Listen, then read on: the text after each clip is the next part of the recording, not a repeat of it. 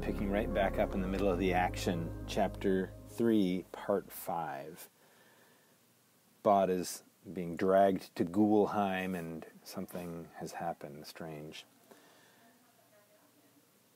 As they fled, the ghouls paused only to turn and make rude gestures at the beast and possibly also at Bod. The beast stayed where it was. It's going to eat me, Bod thought bitterly. Smart Bod.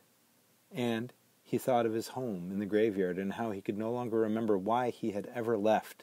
Monster dog or no monster dog, he had to get back home once more. There were people waiting for him.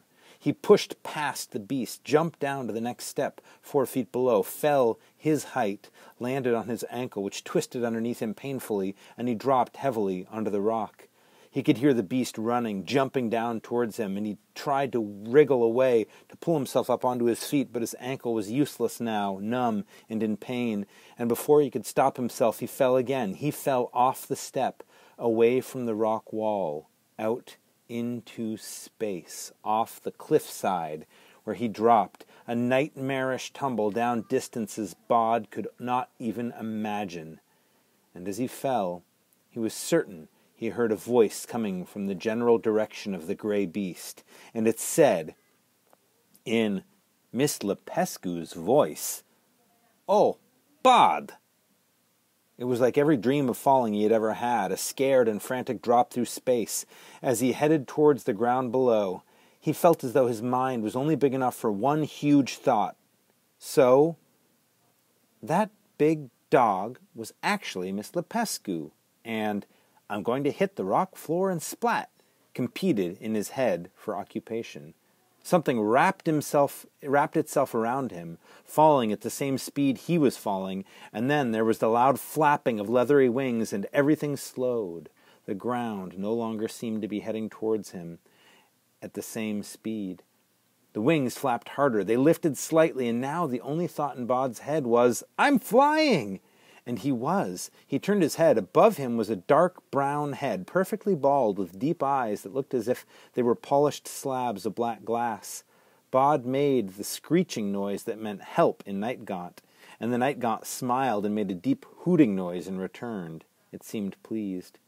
A swoop and a slow, and they touched down on the desert floor with a thump. Bod tried to stand on his ankle, but it betrayed him once again, sent him stumbling down into the sand. The wind was high, and the sharp desert sand blew hard, stinging Bod's skin. The night gaunt crouched beside him, its leathery wings folded on its back. Bod had grown up in the in a graveyard and was used to images of winged people, but the angels on the headstones looked nothing like this. And now, bounding toward them across the desert floor, in the shadow of Ghoulheim, a huge gray beast like an enormous dog. The dog spoke in Miss Lupescu's voice. It said, This is the third time the night gaunts have saved your life, Bod. The first was when you called for help. They heard.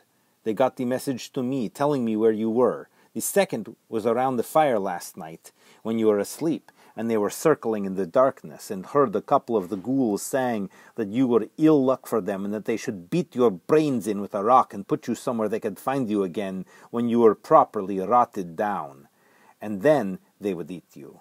The night gaunts dealt with the matter silently, and now this. Miss Lupescu?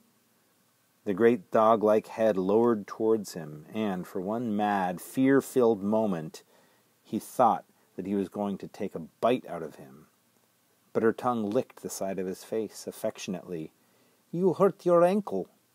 Yeah, I can't stand on it. Let's get you onto my back, said the huge gray beast that was Miss Lupescu. She said something in the night gaunt's screeching tongue, and it came over, held Bod up while he put his arms around Miss Lupescu's neck. Hold my fur, she said. Hold tight. Now, before we go, say, and she made a high screeching noise. What does it mean? Thank you or goodbye, both.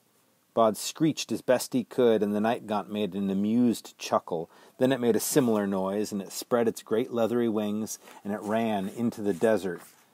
Wind flapping hard, and the wind caught it and carried it aloft like a kite that had begun to fly.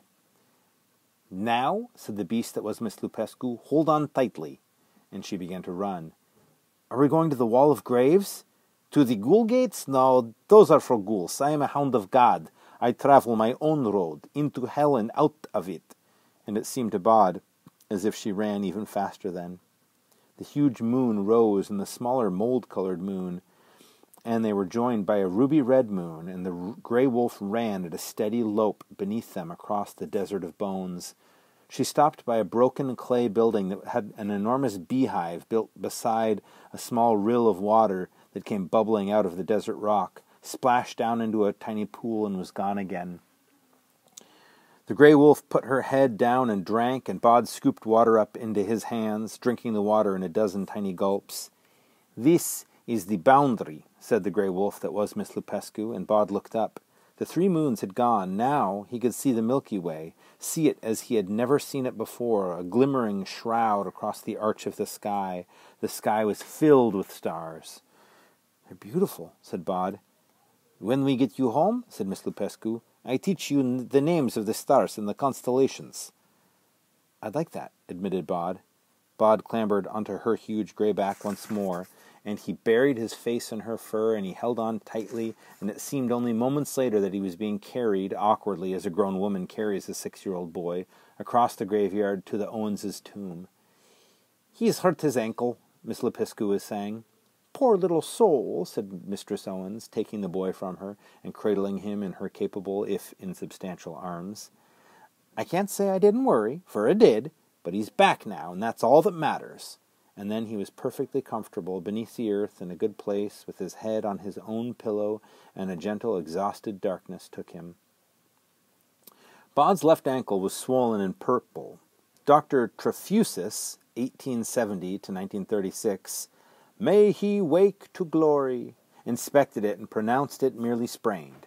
Miss Lupescu returned from a journey to the chemist's with a tight ankle bandage, and Josiah Worthington Bartholomew, who had been buried with his ebony walking cane, insisted on lending it to Bod, who had too much fun leaning on the stick and pretending to be one hundred years old. Bod limped up the hill and retrieved a folded piece of paper from beneath a stone. The Hounds of God, he read. It was printed in a purple ink and was the first item on a list. Those that men call werewolves or lycanthropes call themselves the hounds of God, as they claim their transformation is a gift from their Creator, and they repay the gift with their tenacity, for they will pursue an evildoer to the very gates of hell. Bod nodded.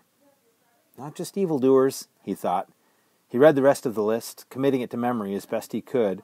Then he went down to the chapel where Miss Lupescu was waiting for him with a small meat pie and a huge bag of chips she had brought from the fish and chips shop at the bottom of the hill, and another pile of purple inked duplicated lists.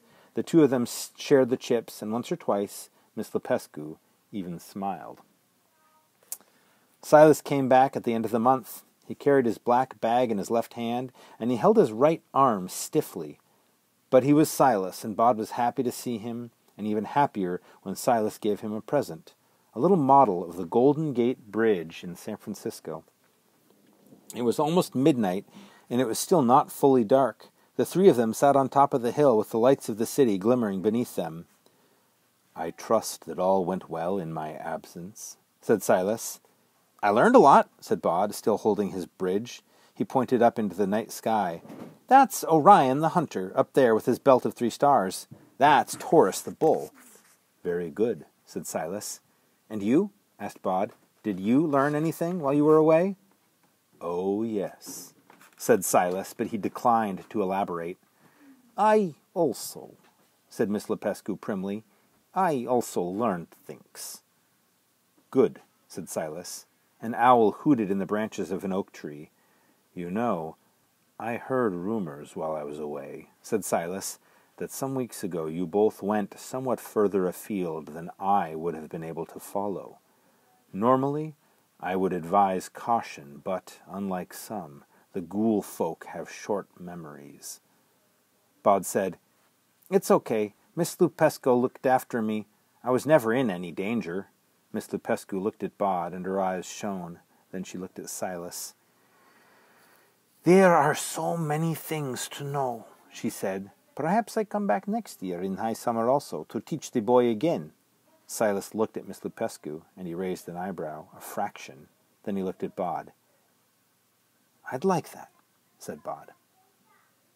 It's the end of that chapter. Oh man, what a thrilling conclusion. I noticed something, and I don't know if anybody else did, but there was a little hint early on about Miss Lupescu. Has anybody ever read any of the Harry Potter books or seen any of the Harry Potter movies? If you have, you might remember a character named Professor Lupin. And Professor Lupin, it turns out, also had a ability to transform, kind of the way Miss Lupescu does. And I got to thinking about Lupin Lupescu. And any of you French speakers out there might know that the word for wolf in French is loup, spelled L O U P. And I wonder if that was a little hint the author was giving us that there was something special or strange about these characters, Lupin Lupescu. Anyway, fun end to the story, or to this chapter, that is. Until next time.